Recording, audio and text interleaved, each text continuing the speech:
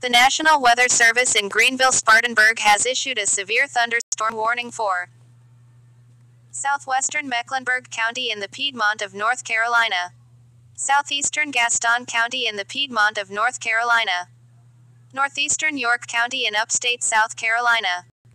Until 6:15 p.m. EDT.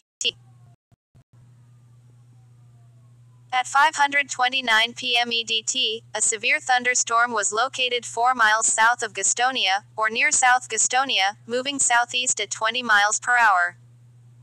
Hazard: 0.60 miles per hour wind gusts and quarter-size hail. Source: radar indicated.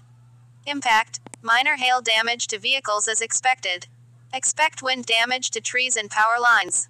Locations impacted include Gastonia, Central Charlotte, Southwest Charlotte, South Gastonia, Tega Cay, Cramerton, Charlotte Douglas Airport, Steel Creek, Carowinds, and Lake Wylie. Precautionary preparedness actions. For your protection, move to an interior room on the lowest floor of a building. Torrential rainfall is occurring with this storm and may lead to minor flooding. Do not drive your vehicle through flooded roadways.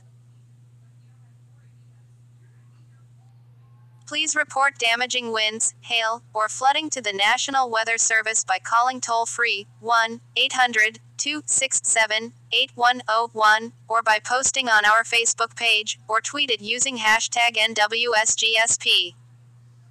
Your message should describe the event and the specific location where it occurred.